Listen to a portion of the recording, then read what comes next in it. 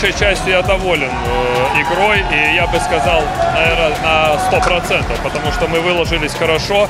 Э, Кузбасс отлично провел третью партию, концовку играли практически без ошибок. В целом э, Кузбасс показал очень, очень хорошую игру в третьей и в начале четвертой партии.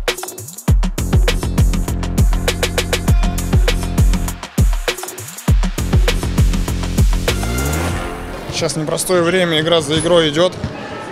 И перелет сказался, ну хорошо, что выдержали, подготовились.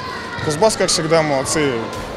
Бешеная поддержка. И они на этих эмоциях и выиграли третью партию. Очень хорошо играли.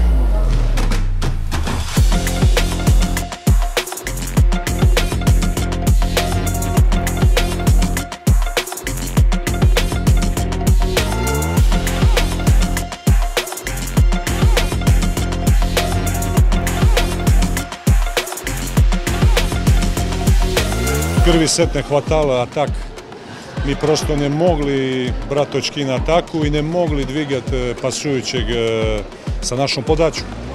No, potom mi ustanovili e, stali podavat luče, mi stali atakovat luče i eto nam dalo, kako skazat, e, dovjerje, vjerje, da, u igru, što je to возможно a, igrati i igrati set. Dinama pojehal na podaću i mi, mi znajem što je ta komanda очень silna na podaći, je to element gdje oni mogu сделati raznicu, no to že samo mogu skazati što komanda borila se, parni e, hoćeli, hoćeli zagrati хорошu igru i na koncu je to bila хороша igra i za naše boljičke.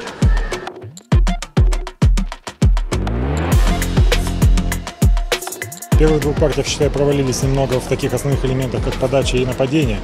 Вот этого как раз Москва и воспользовалась, чтобы эти партии забрать спокойно. В третьей партии мы показали хороший процент в атаке на тяжелых мячах и партию забрали.